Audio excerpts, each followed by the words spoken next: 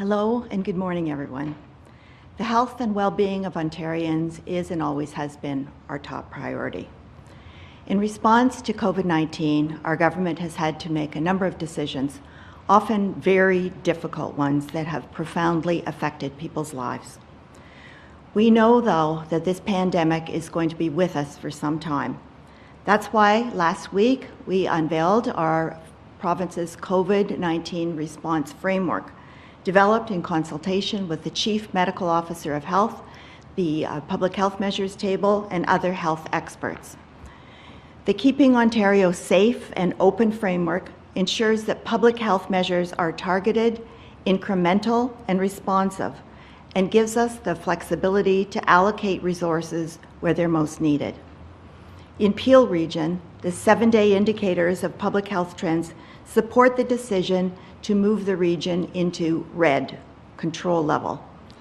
Recently, Peel's Medical Officer of Health, Dr. Lowe, put in place additional public health measures for that region. Local authorities and medical officers of health have the ability to tailor restrictions in their communities based on local circumstances. To further support the communities in Peel Region, our government is taking immediate action to stop the spread of COVID-19. We are providing more locations and innovative testing options to help increase access to testing. These include establishing three new community-based testing centres in Brampton by tomorrow, at Snellgrove Community Centre, Gore Meadows Community Centre, and Greenbriar Community Centre. Mobile testing sites, including one at the CMHA Peel Dufferin Mobile Health Clinic in Brampton, to respond to an increase in local demand for tests and to provide access in testing in communities where travel is a barrier. We're also opening walk-in availability at assessment centres for those who can't book online or by phone and implementing up to seven pharmacies or specimen collection centres in partnership with LifeLabs, Dynacare, and Alpha over the next two weeks. In addition, we are working with community leaders throughout the region to promote awareness of the importance of testing. Our government is also providing additional case and contact management support to Peel Regional Health Unit. This includes onboarding up to 70 additional case and contact management staff to directly support Peel Region and collaborating with 10 other public health units with lower case counts to provide additional case investigation assistance. To support hospital capacity pressures and the continuation of surgeries and procedures, Ontario is investing $42 million for up to 234 new beds at three hospitals and their alternate health facilities in Peel Region. This will include William Osler Health System receiving up to 87 total patient beds, Trillium Health Partners receiving up to 141 total patient beds, and Headwaters Healthcare receiving up to six new patient beds. We're also taking action to support businesses in Peel Region, which Minister McNaughton and Minister Sarkaria will touch on in just a few moments. Together, these targeted actions will support the ongoing efforts to stop and, and uh, contain the spread of COVID-19. All options are on the table to protect the health and safety of individuals and families living in Peel Region. We will continue to work with our local partners in the coming days and weeks to provide the additional support in Peel Region as required.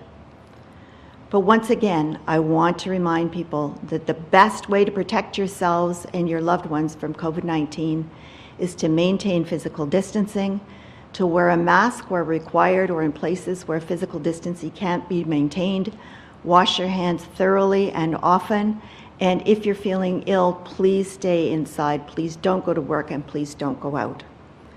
By following these simple, simple uh, advice and symptom management, we can protect the, uh, our loved ones and uh, contain the spread of COVID 19 in Peel Region and across Ontario. Now, I would like to invite Mayor Minister McNaughton to please come to the podium.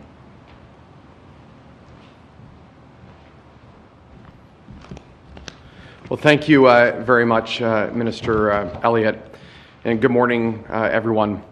The top priority for my ministry and our government is making sure that everyone comes home safe to their families after a hard day's work. That priority has been highlighted since the very beginning of this pandemic. We know that most businesses are operating in safe and responsible ways to protect their workers and their customers. However, there are still some businesses that need help, and that's why we are doing community safety campaigns. Over the weekend, 56 provincial officers visited 330 supermarkets, big box stores, and other retail outlets in Peel Region. Their primary goal was to help businesses stay safe and stay open.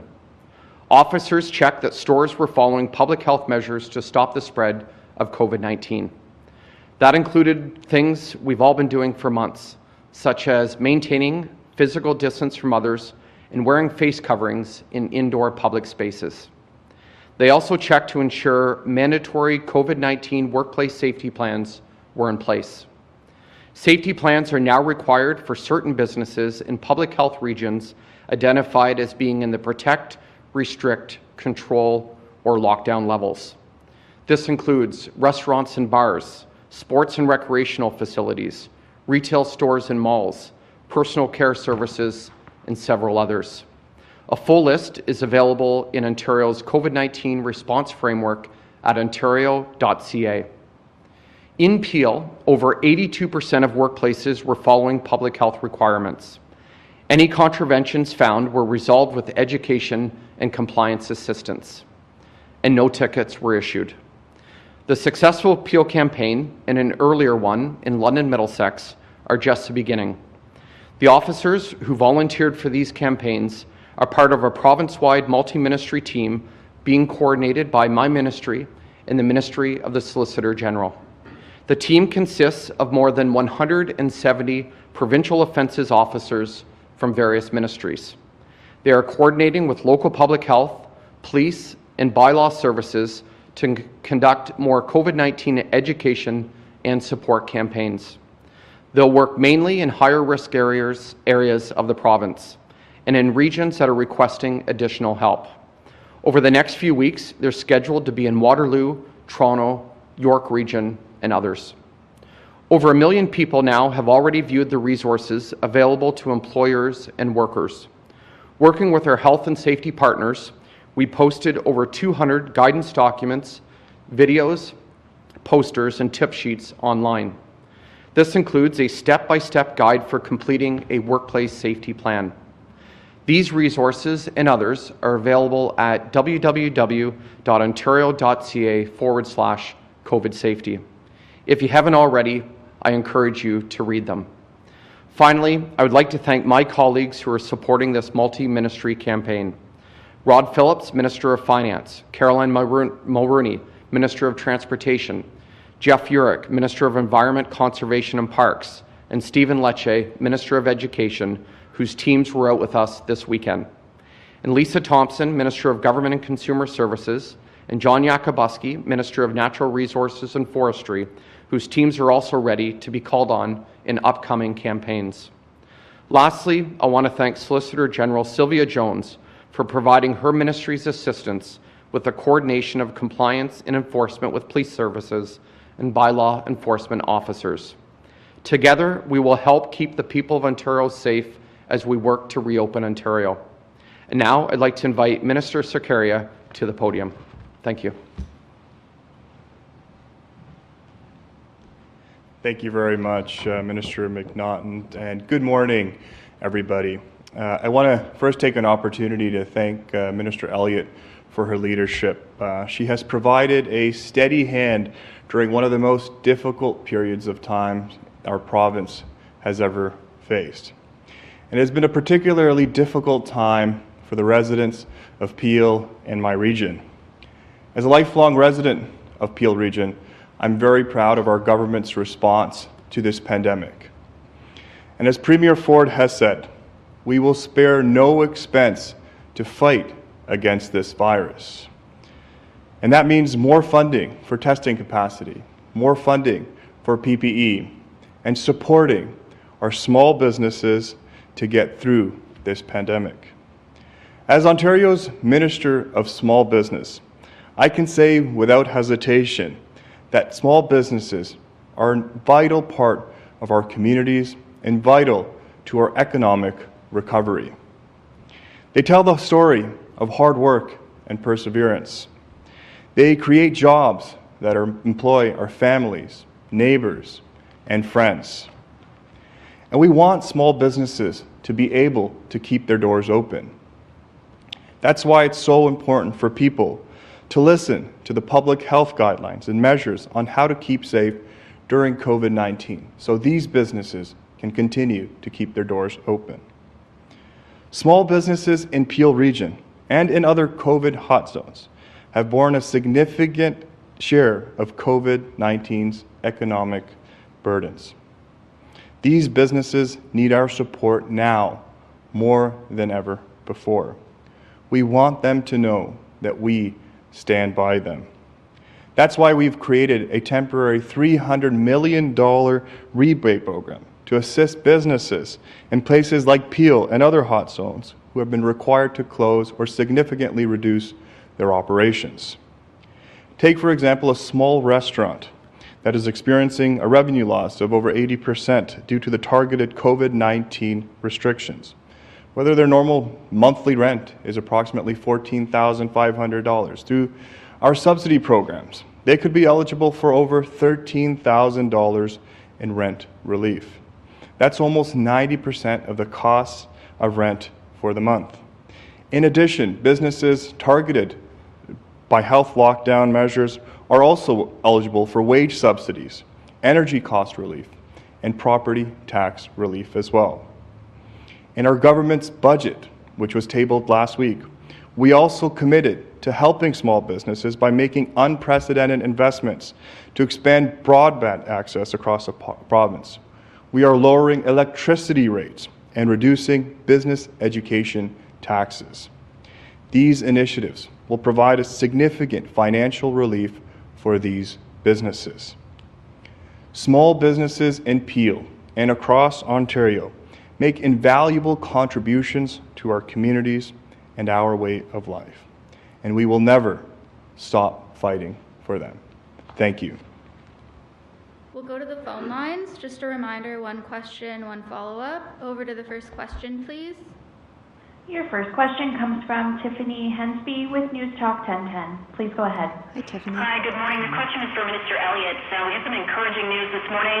Some late-stage trial data showing that Pfizer's COVID-19 vaccine is over 90% effective. Suggestions could be available before the end of the year. Uh, with that in mind, um, has the government begun yet conversations around vaccine development, how it might roll out, who would be the first to get it, et cetera? Yes, first of all, it is absolutely wonderful news uh, that uh, this looks like a vaccine that's going to be very effective will be available soon. And yes, we do have a, a group within the Ministry of Health that is uh, making arrangements for when a vaccine is available for distribution, uh, determining who the, uh, the first group of people will who will be receiving the vaccine, and so on. Uh, there's a lot of work to be done around that, but it's planning that needs to happen to make sure that we have uh, a fair and equitable response for everyone. Follow up. Okay, do you have any sense yet of what that fair and equitable response will look like in terms of, you know, are you thinking starting with um, frontline health care? Is it, you know, long-term care homes? Do you have any sense of, of what we can expect to see? Uh, we are working actively on that right now. We don't have anything that uh, has been finalized as yet, but we're, we're discussing it very uh, carefully. Next question. Your next question comes from Colin D'Mello with CTV News. Please go ahead. Hi, Colin. Uh, hi there. Good morning, Minister. Uh, we're starting to see record-breaking case numbers uh, in Ontario. Yesterday, 1,300. Uh, I'm just curious. Uh, I mean, this this is higher than what your own modeling projections have said. What is your government going to do to actually bring down the case numbers um, because they seem to be growing out of control? Well, that's one of the reasons why we developed the, uh, the framework to uh, determine which public health units would be in what category so that we can start taking actions earlier to uh, prevent cases from growing exponentially, but also to make sure that uh, people will have a, a, sense of what's going on in their region. People can make their own personal decisions too, uh, in addition to following the basic contact measures that we've been speaking about throughout the pandemic, but they can make their own decisions about whether they want to go out to uh, go to a restaurant or go to a gym, for example. Uh, the framework is going to be really important for people to know where they stand. The numbers are being published on a daily basis. And so I think this is really important so that we can try and get ahead of the curve with respect to transmission. And by taking some of those measures earlier, that we can prevent bigger groups of people from getting COVID 19 and pre- prevent um, more significant economic uh, lockdowns in the future. Follow up? Thank you. But a lot of um, public health officials, frontline doctors, they all say that the framework is actually flawed, that you guys are not going to be ahead of the curve. You're going to be behind the curve, especially with the criteria it takes uh, to enter a red zone. So is your government going to look at at all amending the criteria? Are you guys going to revisit whether or not uh, the, the, the 10% positivity rate threshold? Is there any conversation to bring down those ceilings for the, the criteria to enter some of these zones? Well, the framework was developed in consultation with our Chief Medical Officer of Health, uh, Dr. Williams, who is here with us this morning. So I'll ask Dr. Williams to please speak to that.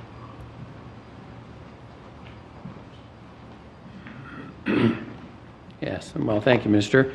Um, the framework is a framework. That means it has uh, is not cover all the details. We are asking our tables to look at the different aspects we'd add to that to deal with variations within. And as we sat down, especially with those that were in the modified two zone, uh, it was very clear to them that while the closures had had some effect, it didn't have the full effect they were anticipating and wanted to have stronger measures or issues in related to people's personal behavior their uh, family's behavior, their household behavior in there. That while there were some aspects that would be useful, we need to do more. Therefore, they were most concerned to introduce the concepts of uh, the concept that we use harm reduction or risk mitigation.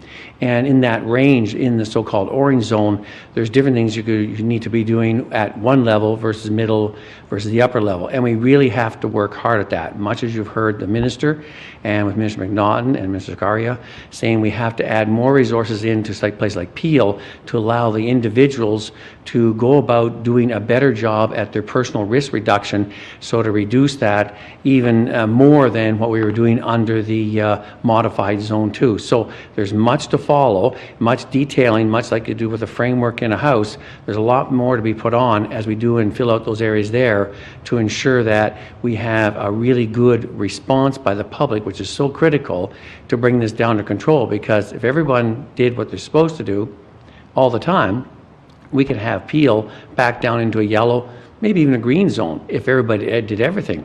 It's really important that everybody pulls together, and as the minister said, we're doing all we can to enable those citizens of uh, Peel, those families, those households, to do all they need to do to bring their community back under control and to ensure that things will stay open and everybody can remain healthy on a go forward basis. Next question. Your next question comes from Jeff Gray with the Globe and Mail. Please go ahead. Hi, thanks. It's a question for Mr. Minister Elliott about the new uh, hospital beds. Can you tell us when those beds will actually be online? There's certainly been some discussion about government speed and you know moving at COVID speed, as the premier said. When, when are we? When are those beds actually be uh, up and running? Well, we're working on developing them and putting them in place right now. I can't give you an exact date, but I can tell you that they are necessary. I know that the uh, William Osler Health System has had capacity challenges, so they need those beds right away, and we're working on develop, developing them, putting them in place with the necessary staff as quickly as possible. Follow up? I wonder if you could respond to uh, comments from the head of general surgery at uh, Sunnybrook, at uh, CTV uh, web story, where uh, basically, the discussion was about cancer patients concerned that in a few weeks they're going to find their surgery canceled and wanting to get in there and get it done. And he, him saying, well, I have to explain that, um, uh, can't, you know, the province is prioritizing indoor dining in restaurants over cancer surgery. I wonder if you want to respond to that. Well, I can say that this has been an important part of our fall preparedness plan in becoming ready for the second wave of COVID 19. Uh, one is to ensure that we can carry on with those surgeries and procedures that had to be postponed during wave one, uh, because as terrible as it is to lose someone from COVID, it's equally terrible to lose someone you love because of cancer and a surgery that didn't happen when it should have. So we are taking every step that we can to make sure that those surgeries can continue. Uh, cancer surgeries, cardiac, um, other orthopedic surgeries, cataract surgeries. We want to make sure that we can carry on with them. So that's part of the plan for introducing these new beds across the province is to cope with an influx in patients with COVID-19, but also to be able to carry on with those other very important and necessary surgeries. Next question. Your next question comes from Rob Ferguson with the Toronto Star. Please go ahead. Hi, Rob. Uh, hi, this is also for uh, Minister Christine. Um, will Toronto still be uh, um, going back to having some indoor dining and gyms open on Saturday, given uh, that, as Colin mentioned earlier, we had more than 1,300 cases, uh, well over your worst case scenario? Well, that will be something that will depend on the numbers that we see coming in this week and uh, discussions with Dr. de Villa. Uh, but I would like to ask Dr. Williams to please comment on that as well.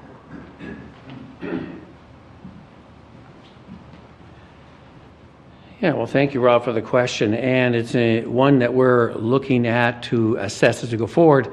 Uh, the worst case scenario um, by the uh, table, the modeling table, they said that by the early of November, we would be well over 1,000, 12 to 1,400 cases. So they were pretty accurate on that. If we continue to flatten, we would stay away from going to two to 3,000 a day by the middle of November. So we are hoping to uh, keep to that and stick and keep the numbers down. As far as the aspects related to the restaurants and that, you know that the numbers today, the 1,300, a majority of which are in Toronto, Peel, and York, somewhat in, in Ottawa, uh, all are were occurring when they were in modified zone two, when the restaurants were closed. So um, we're going to address, as I mentioned before, and as Dr. Lowe is trying to do, to say you have to do more than beyond uh, just closing gyms and restaurants. It's people's behavior around that.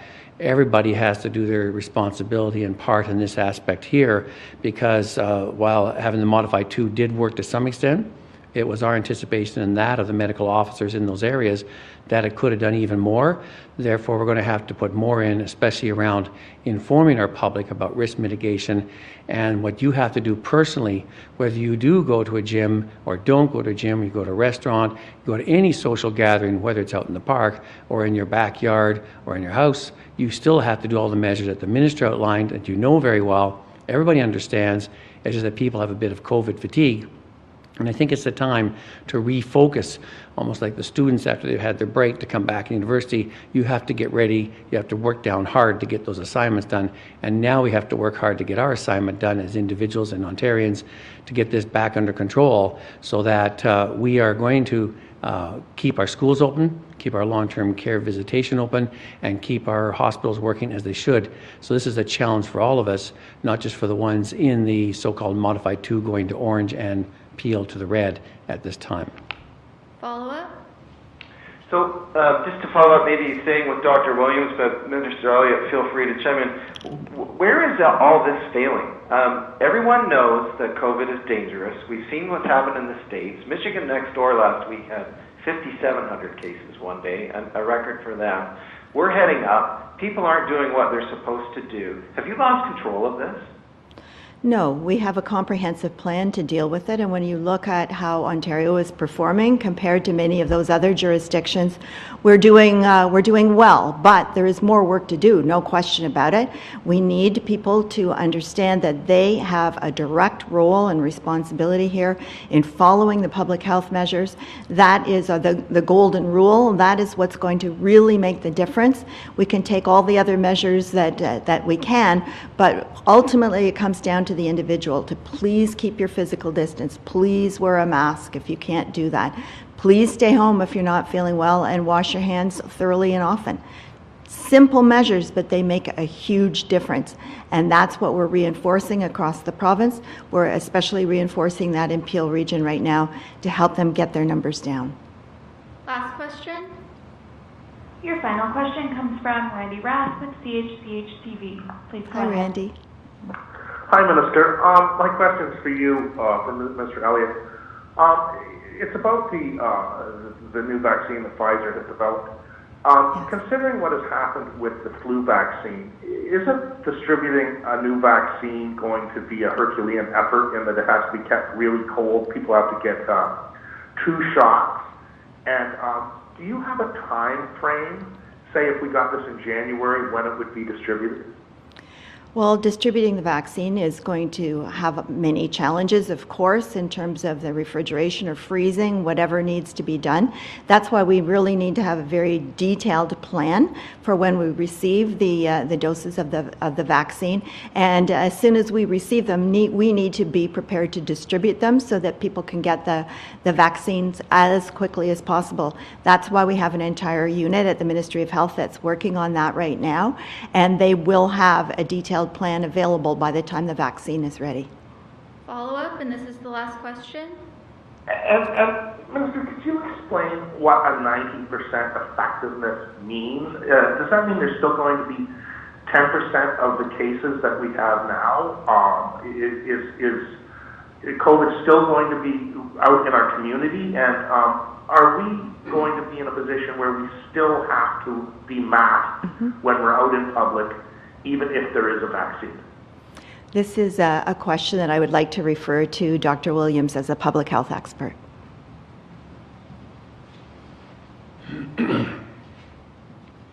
So vaccine effectiveness, vaccine efficacy, these are fancy terms.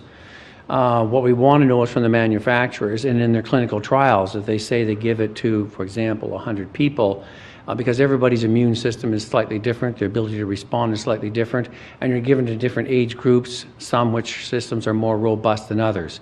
So as a result, they ha- say they have demonstrated that 90 out of the 100 will uh, give a proper immune response in there. Now, of course, on a population-wide level, we may have to see how that works out uh, in that. And of course, you know that we have one vaccine, but there are others that the federal government has put uh, bids into, and there may be other products coming in after this one as well. And so there's a variety there. So one is the fact is if you get up to 90 percent. Uh, coverage, which is people right now, we saw the um, serial surveillance before. We do not have, because of our ability to keep the numbers down, we have a low level of uh, protection already in the community. But if you get a number of individuals, 90% of whom that risk group has protection, that would be reassuring. We don't know what the number is to give a so called herd immunity. Uh, in there, is it the same as measles, where you'd have to be up in the upper 90%? We're thinking it's a bit lower than that. And so that 90%, if we gave it to people and had that coverage, I do feel we could limit it and bring it down because the test is really will the numbers drop right off and go down to minimal and hardly see them at all. And so that's where the real test is as compared to the clinical trials, the actual application in the field. But so far, it's all looking promising. But as the minister said, there's a lot of work to be done to get ready for it to bring it in, to send it out, to deliver it, and to make sure it gets into the right people at the right time as best as possible and as much coverage as you can get in a proper way of undertaking a vaccine program, which in Ontario, with our universal influenza immunization program, the biggest in the country, we have a lot of experience on the ground already, and we're continuing to drive and work at that as well. Thanks, everyone.